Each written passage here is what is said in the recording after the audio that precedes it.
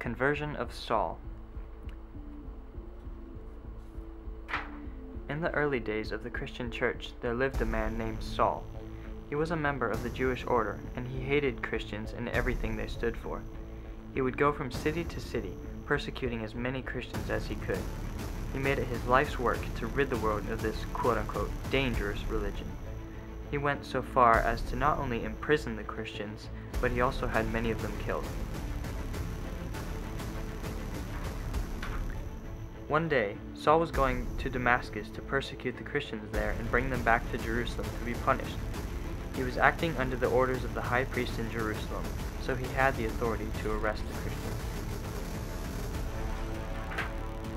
As he was on the road to Damascus, suddenly a bright light from heaven shone around him, blinding him.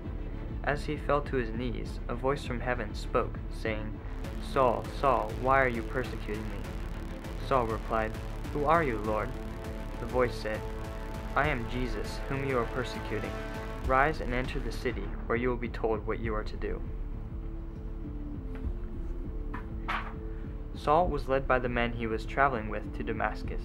When he entered the city, he was met by a Christian named Ananias. Ananias had been told in a dream from God to meet Saul.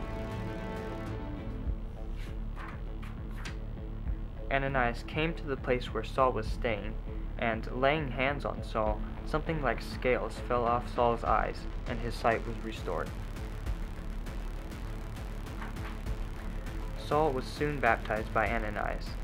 He would eventually become one of Jesus' most devout followers, a man who would change the world for Christ.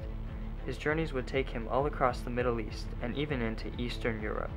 Saul would be renamed Paul and would passionately spread the good news of Jesus Christ wherever he went, to whomever he went, until, until his eventual death as a martyr for Jesus Christ in Rome. His life was an incredible one, and it challenges us, the people of this generation, to ask ourselves one question. Are we willing to be like Paul and be fearless about our faith?